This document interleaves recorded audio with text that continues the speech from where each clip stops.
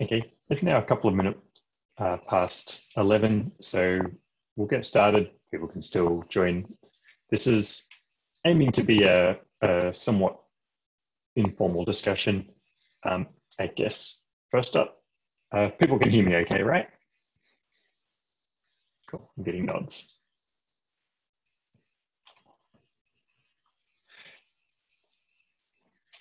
So it's been a little while since we had these monthly webinars and we're sort of uh, shifting the format up a, a, little bit. So whereas previously they were uh, very much oriented towards yeah, a presentation of some sort, uh, now we're still going to have a presentation of some sort, but it'll be a, you know, a relatively small portion, can be you know, 15 minutes. And our aim is to, yeah, for this to be kind of a, you know, a very interactive forum uh, yeah, for I guess, us to communicate, NERSC to communicate with our users and our users to communicate with NERSC and with each other. Um, and because we're you know, looking for that interactivity and you know, slightly less formal uh, approach, um, you know, I highly encourage you to join the NERSC users Slack channel if you haven't already and do most of the text chatting there in preference to the um, Zoom chat facility. So using Slack for chat has got a few benefits in it. Uh, yeah, it sticks around and and it is very easy to break out into side conversations as well with uh, with Slack. Um, oops, that through too interesting. So the plan for today um, is, uh, I think I, I posted out the agenda earlier, but so we're going to start out with a kind of a, a win of the month. Uh, the idea here is just, you know, open open discussion. Share something uh, something you achieved, and it can be, you know, it can be something small. It can be, you know, solved a bug, got a paper published. It can be something big, you know, achieved a, a major run or a milestone in a project. Um, yeah, we're looking for um, sharing success stories. Uh, you can also nominate um, somebody else that you know achieved a big win. Um, you know, this could be a, a good source also for, uh, or, or, a good place to learn about, um, you know, science achievements that are being made at NERSC uh, or using NERSC facilities, uh, which could also lead into of, you know, nominations for some of the NERSC awards that happen. So we have, uh, we'll come up to the details of that shortly. Uh, and then after that, we'll go into Today I Learned, which is kind of the other side of uh, yeah, not everything is is successes all of the time. Sometimes yeah, we get burnt, we get stuck, and uh, yeah, it's a little bit painful at the time.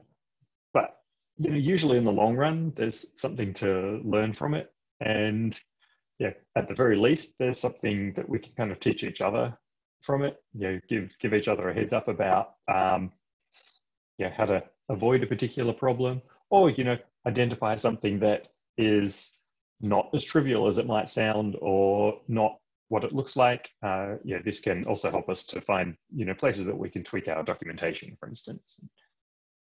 Hopefully improve everybody's experience. Uh, we'll have a, a, space to make announcements and you know calls for participation. And this is not a one-way thing. The intention is again, if there's something that you know about that would be yeah, good to have more NERSC users involved in, uh, we'll announce it there. Uh, and then we'll spend a while on our topic of the day. And today our topic of the day is uh, PSPS preparedness. And PSPS, for those not in California, is public safety power shutdowns. Um, come wildfire season for, this is the, the second year when this is a, you know, a, a significant likelihood that we need to prepare for. Uh, PG&E, which is the utility provider that uh, provides NERSC's electricity, uh, on high risk days, uh, aims to minimize that risk by uh, cutting out uh, power to some regions and that can impact us. So we'll, we'll talk a little about that. Uh, and then just to finish off with uh, a few moments to think about topics for upcoming meetings and a quick look at our operational numbers for the next month. So let's start out with a win of the month please unmute yourself and chime in sort of with uh, yeah, whatever you'd like to say. Um, yeah, tell us tell us all about an achievement, either yours or somebody else's.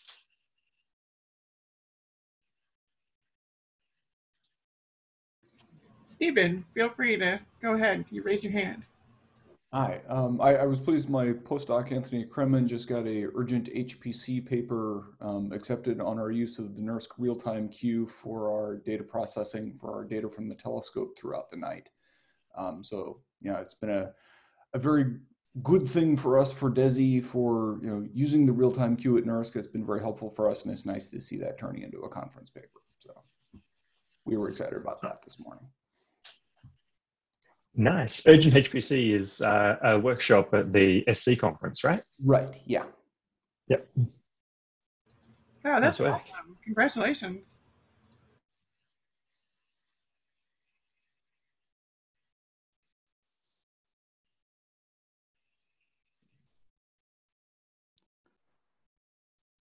I see Stephen Scott raised his hand.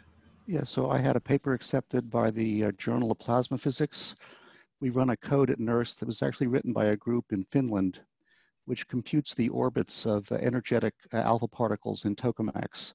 Uh, the worry is that uh, under certain circumstances, they can be lost from the plasma and, and overheat the wall. Uh, so I'm, I'm, I'm, part of a, of a team that's designing about a $400 million tokamak that will, uh, for the first time, produce more power out than power in.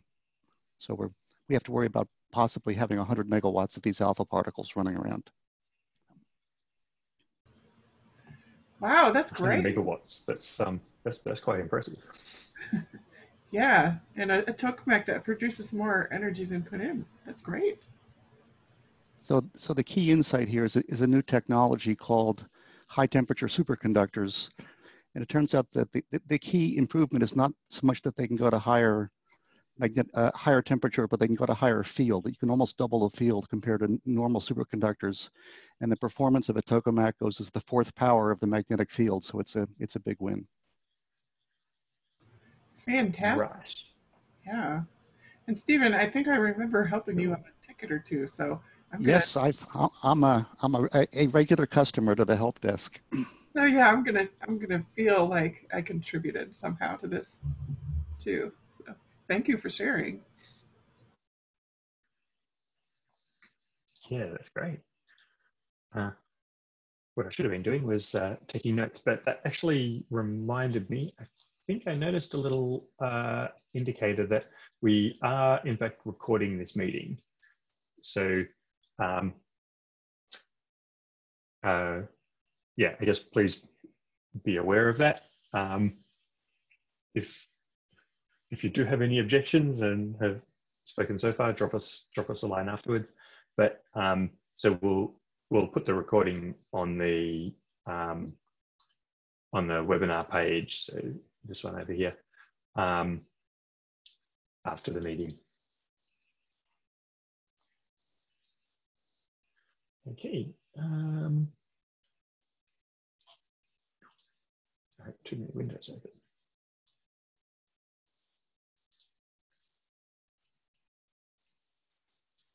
So I have a, I have what feels like a much smaller scale win, but I think it, I think it, it, it still counts as a win. Um, we've got these meetings up and going again. It's been yeah, it's been several months, and um, I'm very optimistic that an interactive format will, um, you know, bring something new to NERSC's uh, user group and um, you know encourage uh, a lot of uh, yeah collaboration and and sort of yeah mutual support for each other.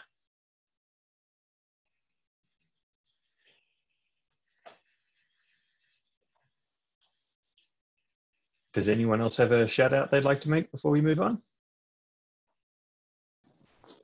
So this is Cheyenne from PNNL. I would like to uh, report a minor win as well.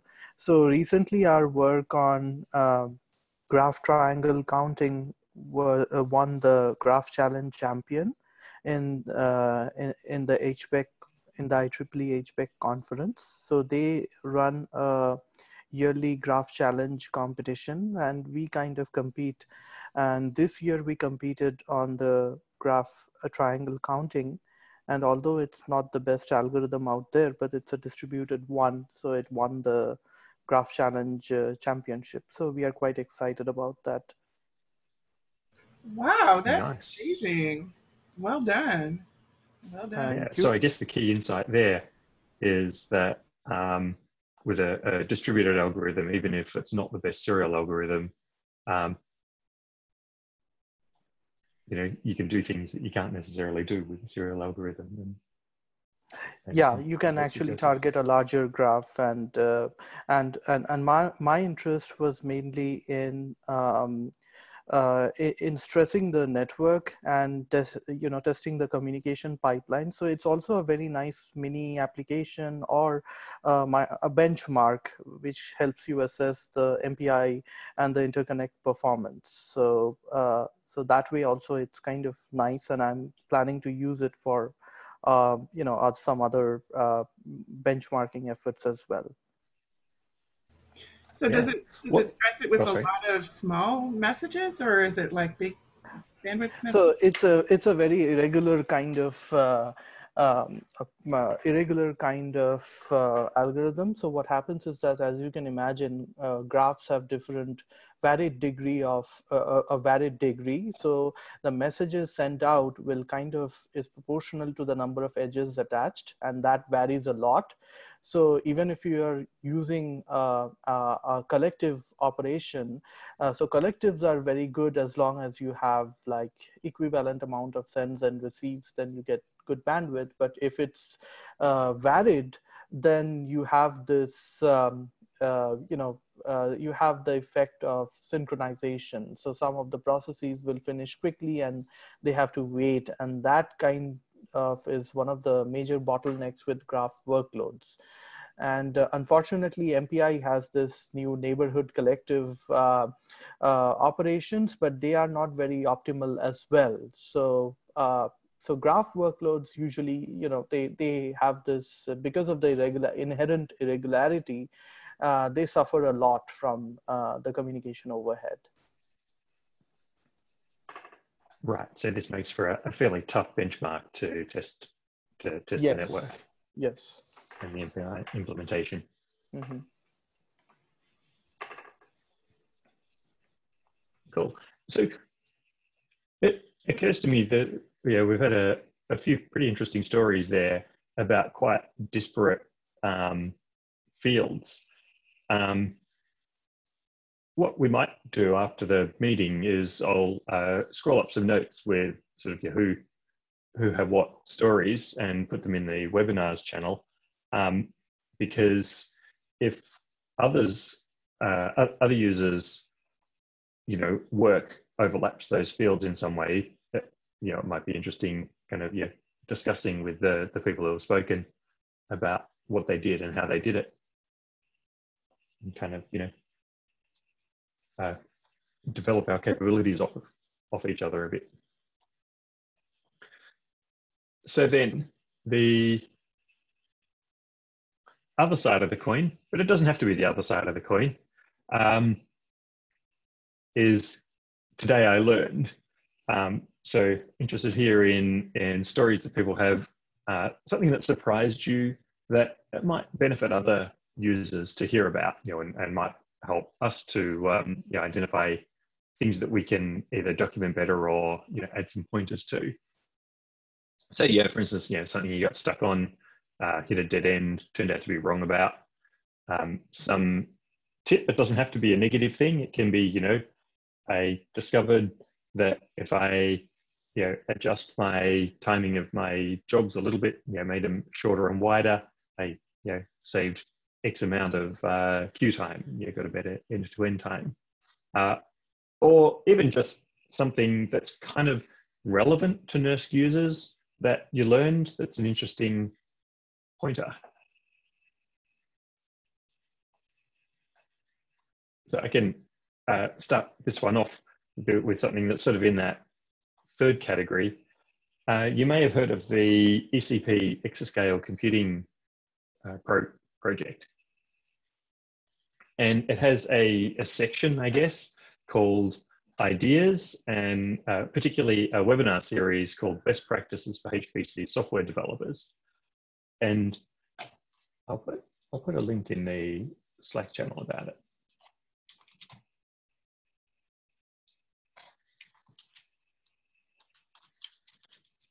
So anyway, uh, th there's been some really interesting talks in this series. And so, you know, I, I often try to you know, either attend or you know, log in afterwards and, and have a look at the talks. And uh, about a week ago now, uh, I was catching up on one that I'd missed um, yeah, previously, which was called Color Mapping Strategies for Large Multivariate Data in Scientific Applications. And, uh, and it turned out to be one of those, you know, hey, this is amazing and I wouldn't have thought of this. So, so I want to call it out. Go uh, take a look. So the, the speaker actually came into scientific computing from an art type of background. And she's talking about how to uh, choose and use a color palette to better communicate um, your findings in scientific visualizations. So the um, yeah, it turns out kind of yeah the the naive way of doing visualizations that I've always used, where you put lots of bright colors because they stand out um, actually isn't as effective as using a, a much more muted color palette and using brighter colors and um, you know strong hues or strong saturations just for, for specific information. And, and she tells it really well. So so that's my today i learned. And there's a, a link in the slack to the, the list of um, webinars and it's a fairly recent one as well yeah the, the, the second or third one on the list yeah take a look Anybody else got uh, a, uh, a hard lesson or just a lesson that um, they're interested in passing on? Uh, Grigor, I see you have your hand up.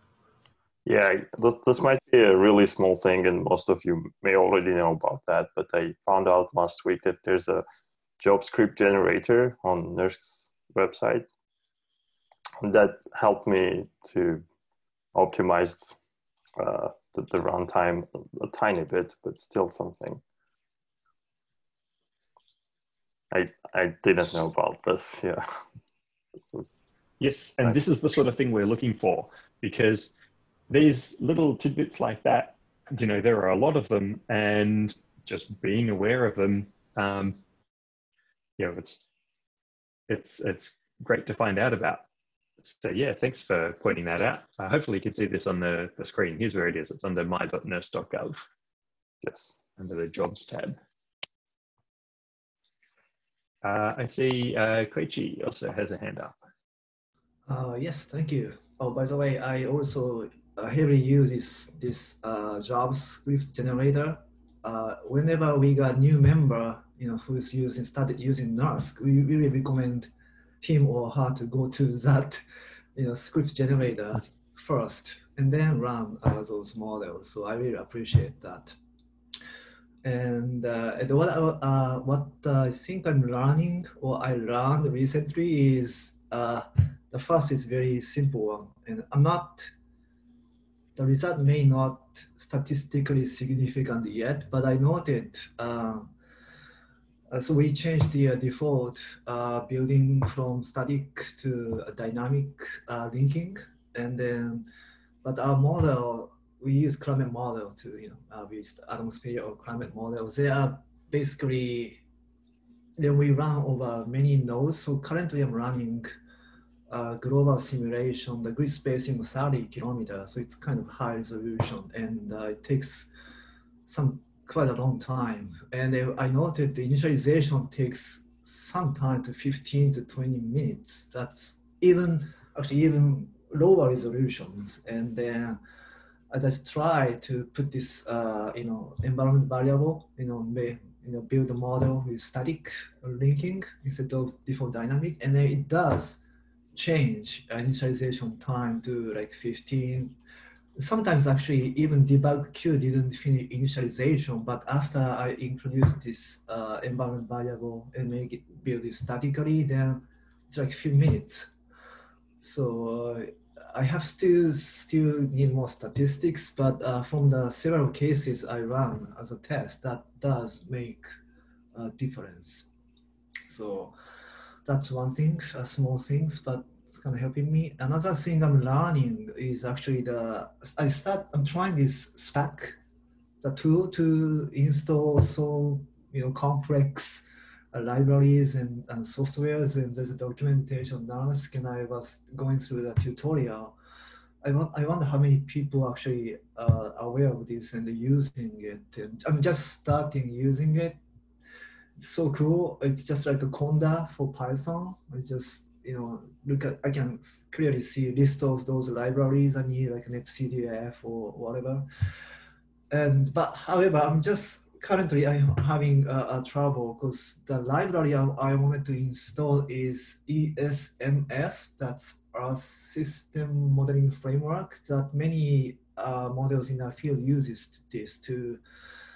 They provide lots of nice tools to remapping, for example, between different grid.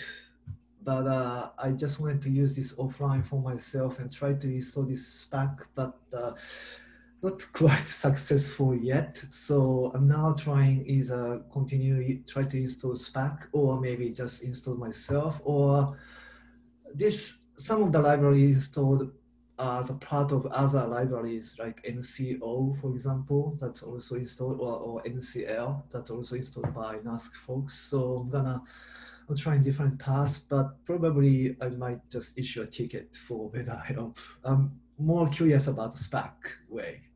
So yeah, uh, that's the few things I'm learning and thank you for some documentations. So, so we're getting pretty interested in, in Spack as well. Actually, we have been for a little while. And so something you may or may not have um, discovered yet is that uh, you can do module load Spack on Cori.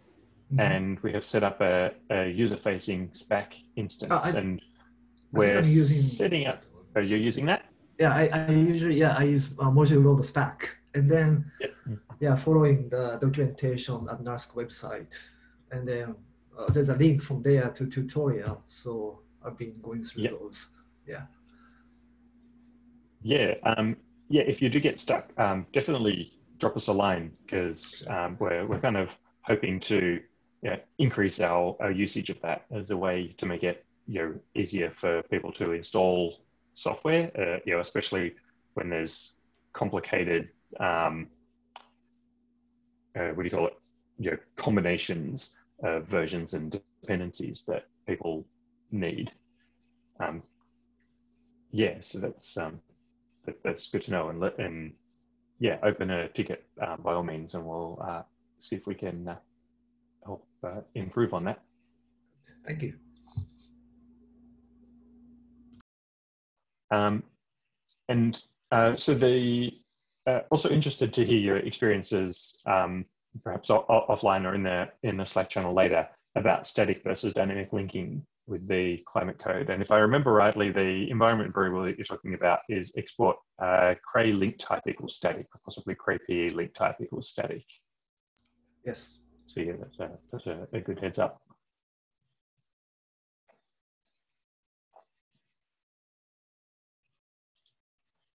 Uh, so we're moving along time-wise, so we might uh, stop at that one and, and step on to announcements and calls for participation. So uh, there are a number of things. I know the email is a, a very long email. uh, so it's pretty easy to miss things, but probably uh, a couple of you know, important upcoming things that are, are, good to know about that you can go back and check your email for the details about that is big one uh, we had announced uh, about the power upgrade happening October 7 to 12 and the, the great news is that the uh, facilities people have managed to arrange it that for the, the, the power upgrade uh, it should be able to happen without impacting Cori. So um, yeah, uh, the, some of the auxiliary things like Cori GPU will still be affected. You know, the great news is we won't have to take an outage for that. Um, HPSS has a new file system-like interface. Take a look at that. Um, very important, the ERCAP allocations process closes in less than two weeks. So yeah, make sure you get your um, ERCAP request in. Uh, and we have uh, office hours coming up uh, October 1 and October 5, so if you've got questions about the process. Uh, a couple of announcements about so the uh, Better Scientific Software Fellowship uh, closes in less than a week. And if you would like to be involved in the SC21 conference, um, it's uh, looking for volunteers now, and that's a, a great way to, um, you know, get to know a broader range of the, the supercomputing industry and other yeah, participants and users in it. Uh, now, uh, Johan has mentioned you have an announcement about Julia. This sounds interesting. Hi, yes, uh, just a quick announcement. Um, we have a Julia module available uh, on Cori now. Um, so this module, it currently has version 1.4.2 uh, and um, we'll be upgrading that, uh, well, we'll be adding a 1.5 version uh, soon. Um, this module also uh, manages the Julia depot path. So um, uh, some packages that, that many users might need and need to be configured for Cori uh, specifically, such as uh, MPI, are managed in that path. So you don't have to rebuild it. Um, they, they automatically get included. Um, and I'll be expanding the available modules um, based on uh, popular demand, essentially. Um, yeah, so that's, that's everything uh, regarding Julia. I guess I, I, can also quickly remind everyone if you uh, still uh, want to answer the uh, office hours survey uh, that was sent out a couple of weeks ago. Um, I'm looking at the data now, so uh, if you want to get your opinion in there, uh, let me know sooner rather than later as well. Thank you very much. Cool, thanks, Johan. Um, yeah, if if you haven't encountered Julia yet, take a take a look. It's a, a really interesting and promising language. I've kind of started uh, you know, using it a little and and uh, learning it just recently, and um, it it fills uh, some of the same niche that Python fills, but being a compiled language, um, it can you know, get past some of Python's um, performance challenges so yeah, that one that one looks really promising. It's good to good to see that uh, it's available on NERSC now. Actually, a year or two ago, um, I think the first Julia program to pass a petaflop ran at NERSC, and I think that made Julia only the fourth programming language that's hit that performance level.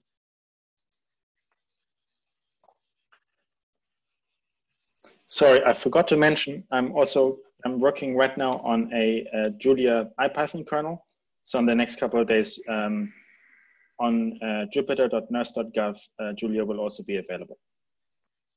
Ah, yep, that will be nice. That's a yeah, good development environment. Um, does anybody else have any announcements or CFPs that they you know know about or would like to um, tell other NERSC users about? Excuse me, can I ask a quick question about Julia? Because I, ne I never really uh, tried uh, or run Julia yet. Uh, so sure. on, on NERSC, is this also GPU ready? Because some of the libraries to run like a accelerator on GPU can be used on Julia. Um, so you mean on Cori GPU? Uh, yeah, or maybe next uh, Perlmutter when it's introduced? Um, it will definitely be available for Perlmutter, um, barring um, major technical difficulties. Um, I, the so um, packages like uh, CUDA.jl, mm-hmm. um, I'm I'm currently setting them up for Cori GPU. maybe you can drop me your email and uh, we can, uh, or, or, maybe we can chat on the NUG uh, Slack and uh, we can have a chat about how uh, you want to use Julia with GPUs. See, yeah, because we uh, I just asking because we are we have some small group of scientists talking about you know uh, writing another new um, uh, numerical scheme to solve atomic flow, but we are also discussing which language that should be written in. And we are discussing, you know, still stick to Fortran and use some open ACC to use a you know uh, GPU or maybe use Python or some modern more more modern language and um, maybe I'll probably quickly through you know, learn about Julia and, and think about it. So yeah, thank you. I might uh, ask on the Slack uh, sometime later.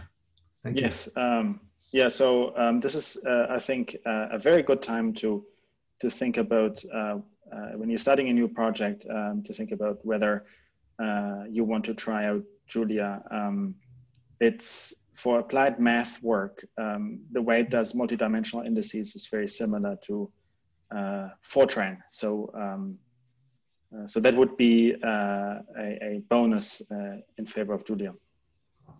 Okay, great. Thank you so much. That sounds great.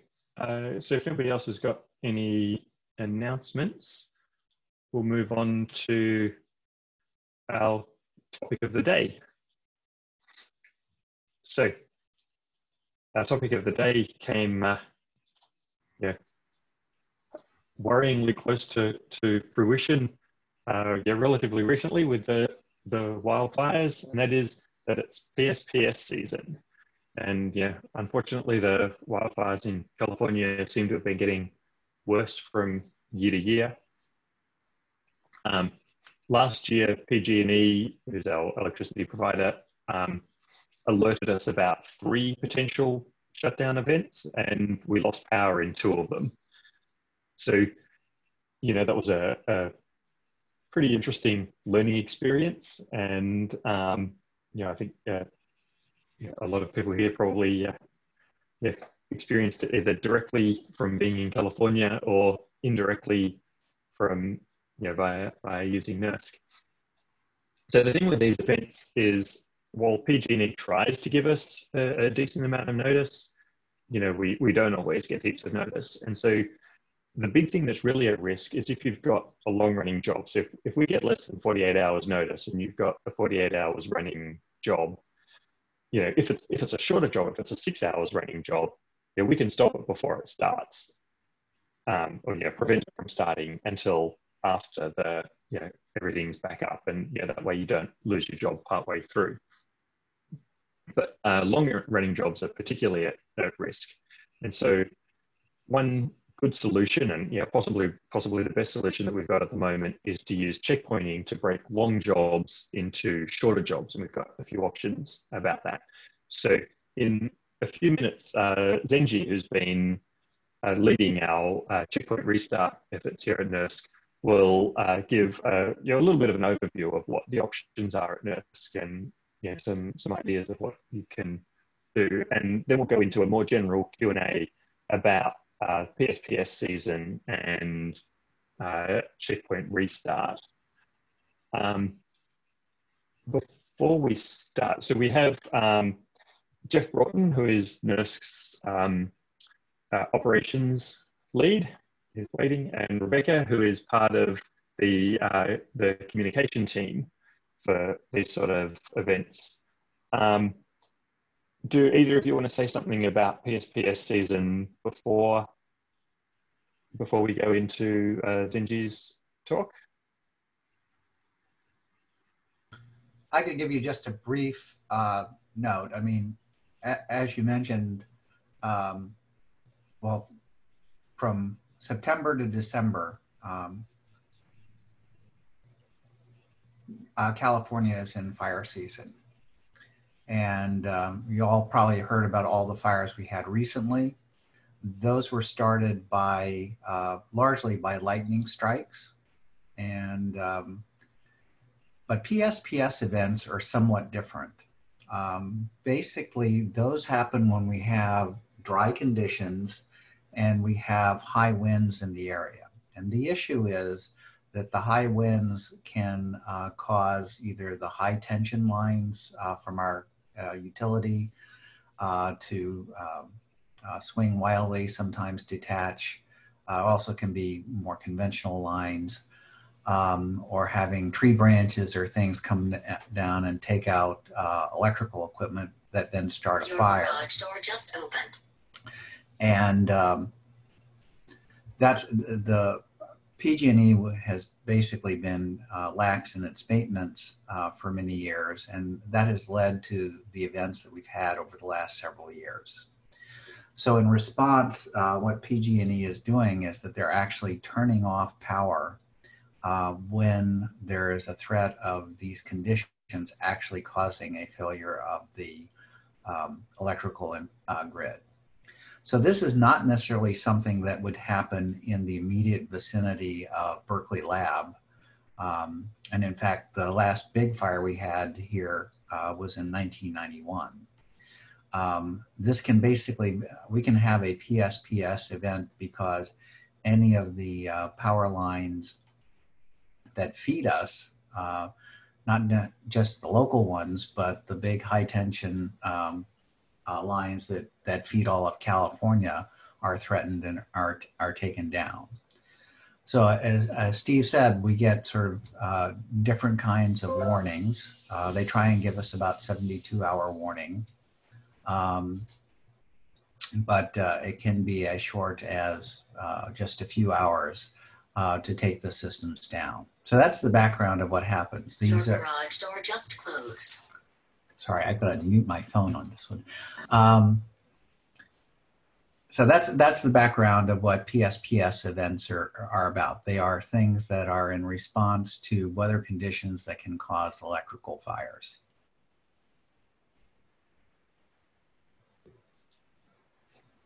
Thanks, Jeff. Um, so we'll go into a, a general Q and A uh, after, or, or yeah, fairly fairly shortly. But first, um, as a you know, what you can actually do about it, kind of mitigation for uh, you know this sort of thing, with other benefits as well. Um, Zenji has a, a, few you know notes and tips around checkpointing. Um, Zenji, would you like to share a screen, or shall I um, present the slide and you say next? Okay, let me share my screen. Okay.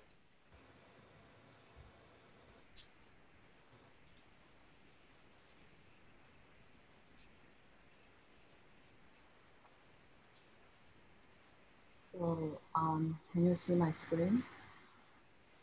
Yep. Yes, but we don't see a presentation. It might be might be the other screen.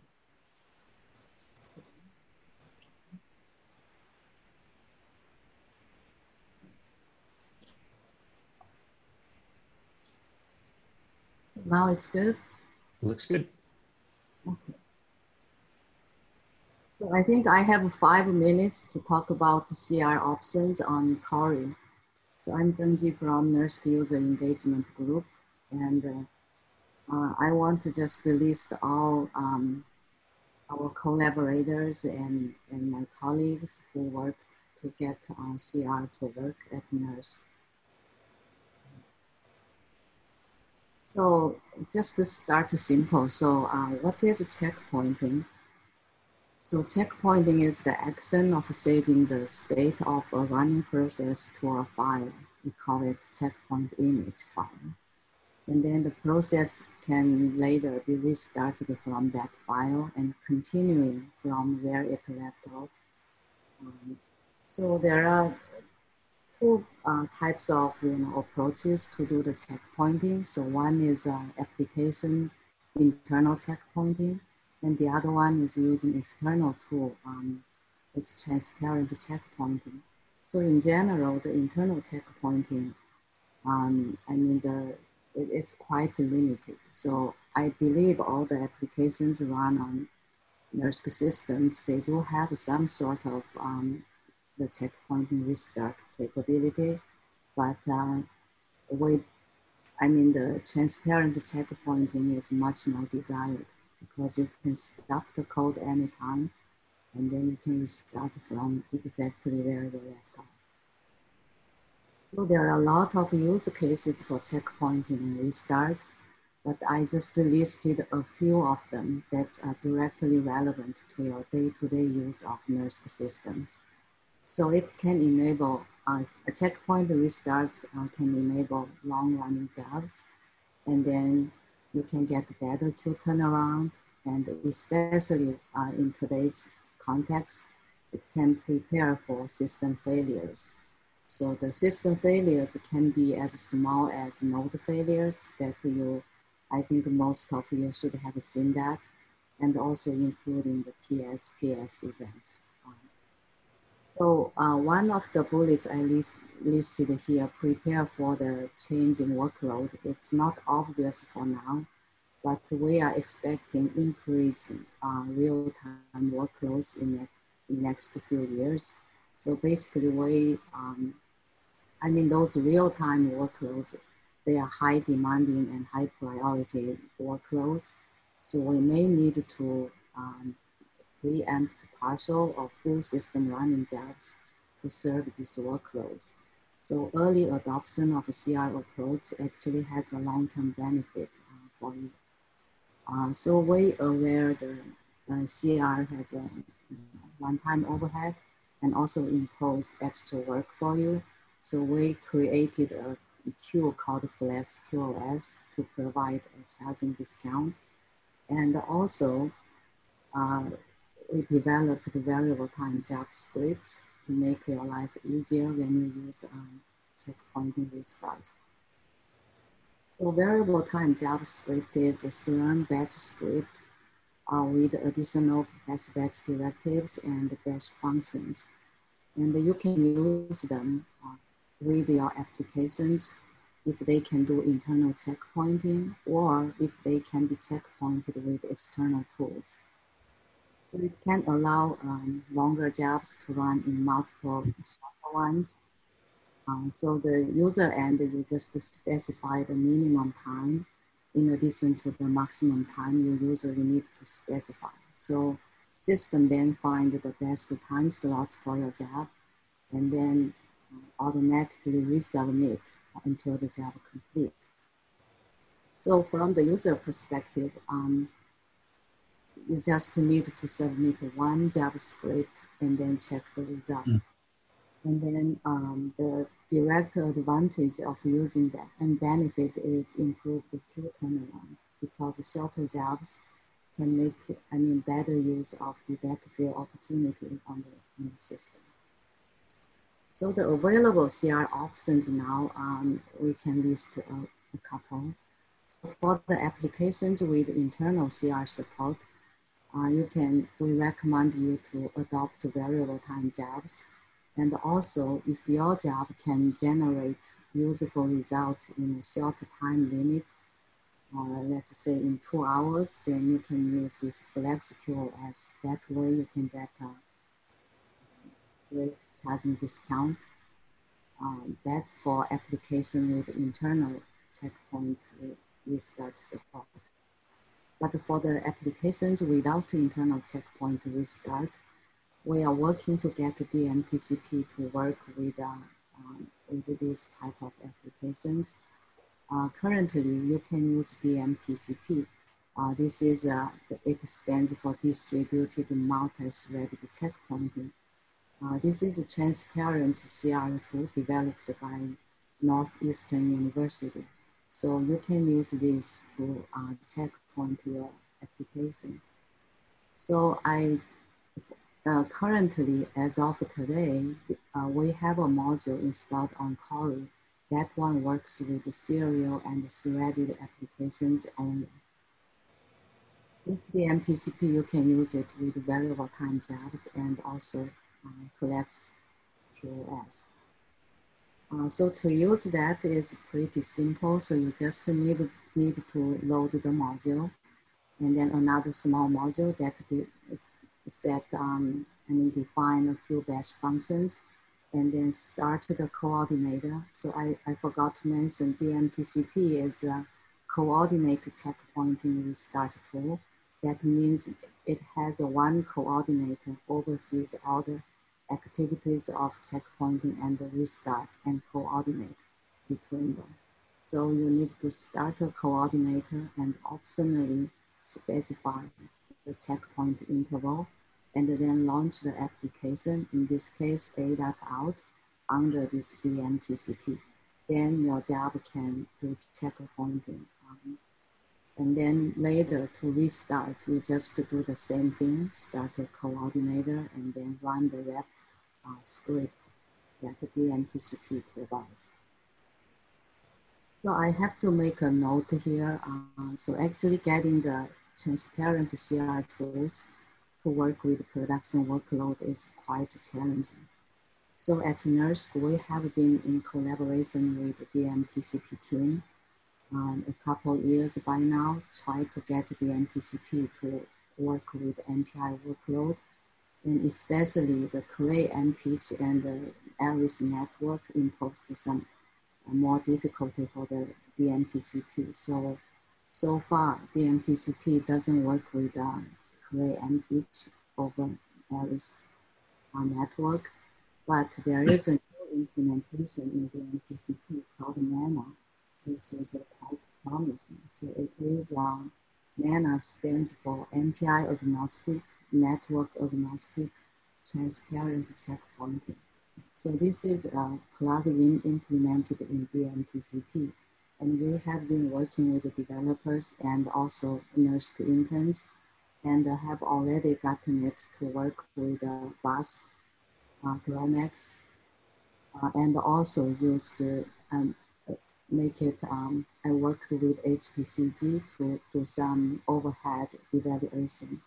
So VASP is our number one applications at NERSC, can consume like up to, uh, it's like more than 15% of the computing cycles. So we are very excited on this capability working for VASP. So currently, uh, the developers need to wrap up their script to make the user interface more friendly.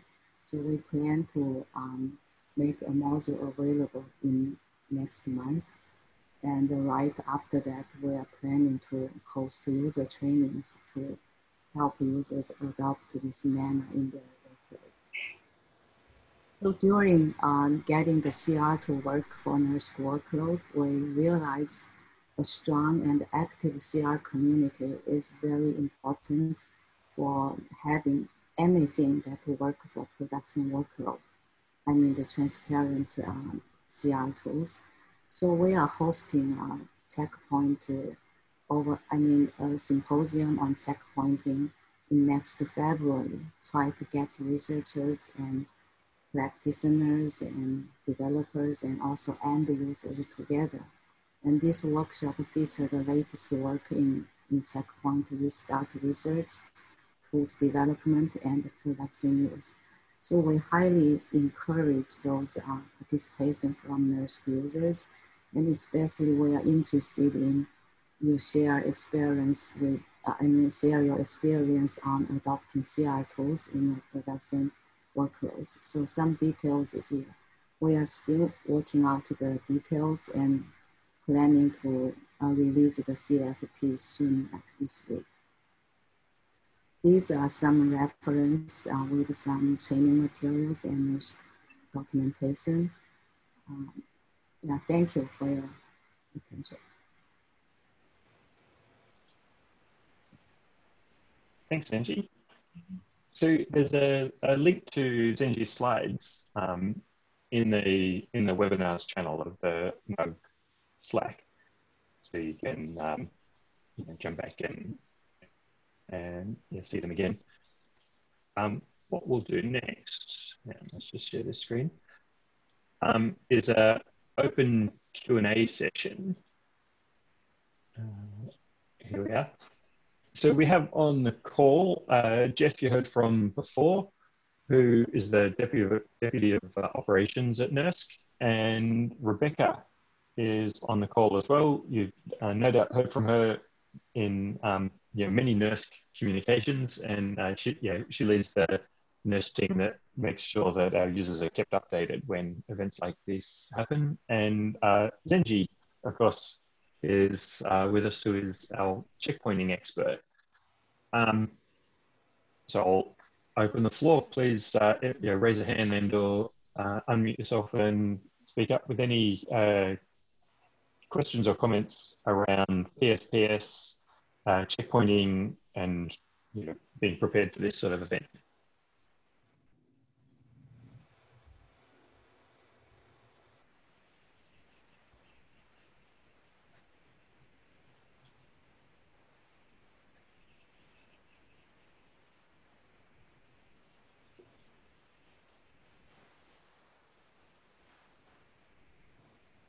So I'll start with one for Zenji. Um, do you have to use the flex queue to use variable time jobs and or checkpointing? No, you don't have to use Flex QoS. Actually, Flex QoS could have a very, um, I mean, the time minimum requirement could be too short for some of the workloads. So anyway, uh, that's not required to use variable that's additional thing. If you use that, then you can get something discount. And the FlexQoS is KNL nodes only, but but so you can still you can still use variable time jobs for Haswell work, just using the regular QoS.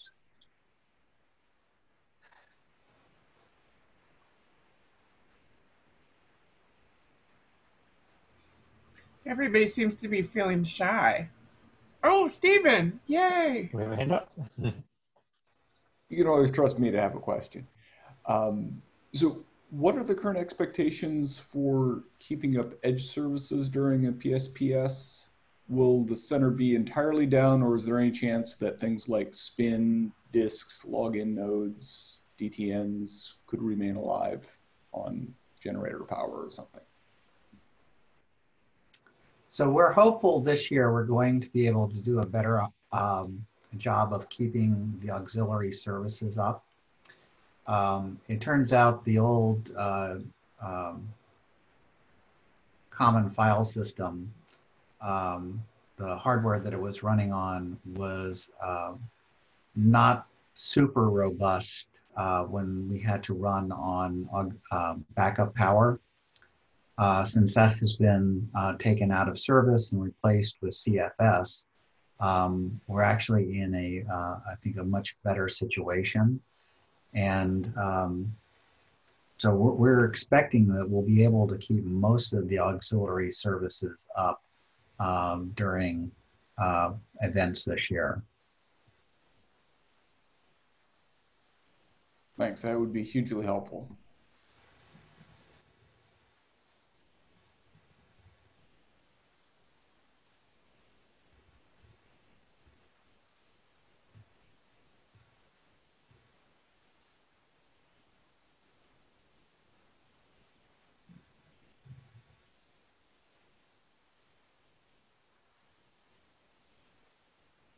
Nobody's quite sure what to ask.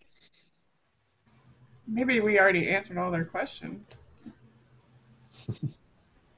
well, if, if you do have questions, um, you can also um, yeah, either send us a ticket or keep discussing it offline. And, you know, we'll, we will make a, a, you know, a very strong point about, you know, making sure that uh, people are updated you know, when these events happen. You know, uh, often things are kind of unfolding in real time, and you know we don't know exactly what's going on either. Um, but you know, those those of you who were NERSC users last year uh, probably remember you know quite a, a lot of you know uh, regular messages from Rebecca during the you know during the PSPS outages and alert times with you know here's what we know that uh, hopefully make it you know, a little bit easier for you know for you to make um, you know, make decisions about you know what what jobs to submit and you know how to arrange your workflow you know when there when there is these disruptions going on. Yeah, so one of the things last year was that I was on the emergency management team, so I had all the inside scoop because I was, you know, there when things were happening. Um, I am still on the team. However, I think it'll probably be somewhat more of a reduced scope at this, you know, this year if we have a PSPS. But I will still try to get as much info as I can and keep you all informed. Thanks, Rebecca. So we're, we're reaching the top of the hour. and We have a, a couple more fairly short items on our agenda. The first one, and most of this conversation can probably happen in, um, you know, offline in, in Slack. Uh, typically in the past, these, these uh, you know, meetings and webinars have been on a third Thursday of the month schedule.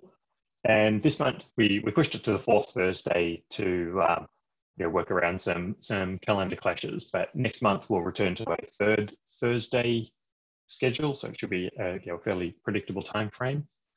Um, we are open to and always looking for uh, topic requests and suggestions. So if there's an element of NERSC that you would like to learn more about, this is this is one sort of great opportunity for it. Uh, another is you know, we had these these you know, really fascinating success stories at the top of the hour, uh, at the at the beginning of the meeting. Um, yeah, I think any or all of those would actually make a great topic for a topic of the day. And, and you know, what we're looking for there is kind of like what what um, Zenji's just presented. Just just a few slides, five or ten minutes of telling us about you know something interesting that um, that you're doing that you know maybe interesting or beneficial to other NERSC users to learn about. So this is a an opportunity to show off your work as well as um, as well as to you know, request um, topics of interest. So yeah, if you'd like to either request a topic or nominate someone or self-nominate to um, to present a topic of the day at an upcoming meeting, um, yeah, let us know either either via Slack or via a ticket. Or yeah, wave a hand now if uh, if something's already on your mind.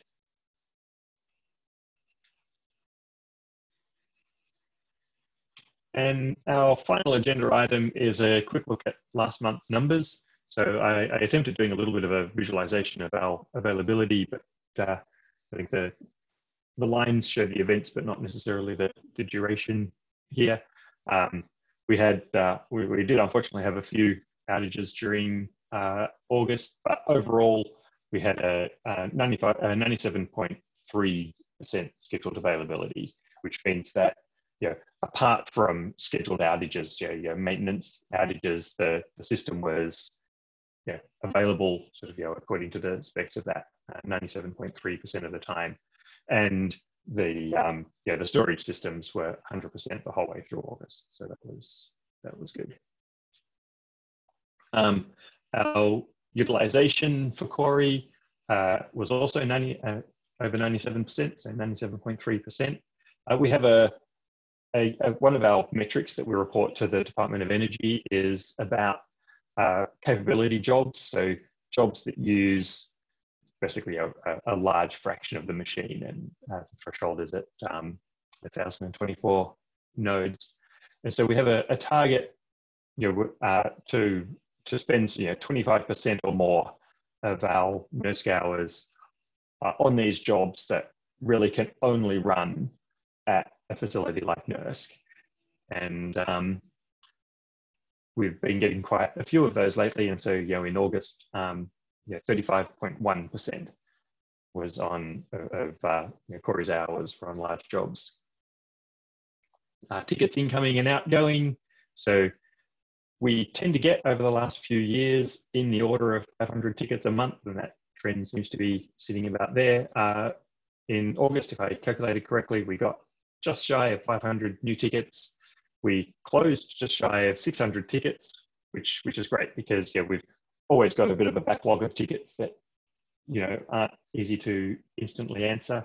Uh, so we've got a current backlog of 485, and I forgot to put the number here, but I think we're we're at uh, somewhere in the 92, 93 percent um, of tickets, meaning we have a, a, SLA that we report to the DOE uh, to address tickets in three business days uh, with a target of uh, 80%. so we're uh, happy to report that for the majority of tickets, know, over, over 92% of tickets in August were able to address them within that um, time frame.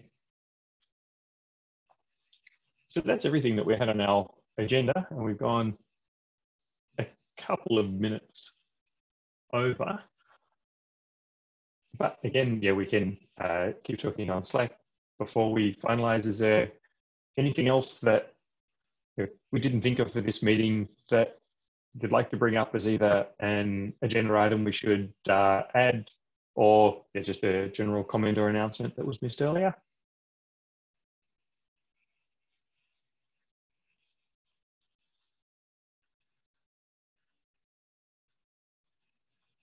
Looks like no, but um, thank you all for joining us today and we'll look forward to well, yeah, chatting with you in, in general through through our normal channels, but also at our next monthly meeting next month.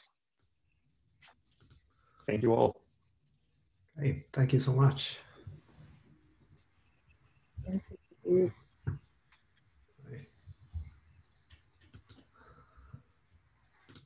Bye-bye.